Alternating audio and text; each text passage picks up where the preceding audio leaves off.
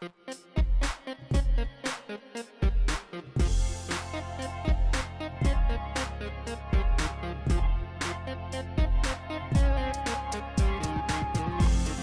going on guys? Welcome to my tutorial on Adobe Edge. This is going to be a tutorial really just to review how to publish your project to your website.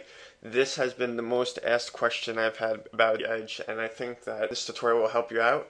And also, this is just a preview of Edge, so you have to remember, Adobe is still working on this stuff, so if I show you something like this, this is just for now for the preview. So let's just come over here to the file I have. So when you save your project, these are the files that you'll probably see, and since the previews are changing, you might have a little bit of a different file structure, but this is very similar. So this is my Edge project, and this is the HTML document that holds it. It's called header. And then over here we have something called header underscore edge. So if you named your file something else, it won't be header, but it'll be underscore edge, and we can open this in Dreamweaver, and right here is our JavaScript file.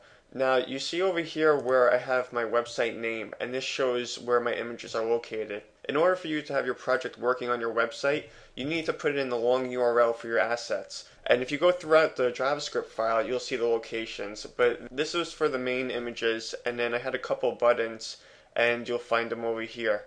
And then after this, you can just go to your favorite FTP program, whatever. I use Dreamweaver, and you can just upload your files.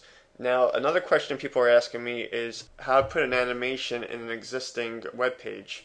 This is WordPress's uh, 2011 theme. I came over here and I created myself an iframe. I thought this was the easiest solution. I saw other workarounds, but I thought this was really convenient. And I placed it in the header PHP file, and right here is the iframe. So maybe I'll post this on my blog just to show you what an iframe looks like, but that's basically all you have to do.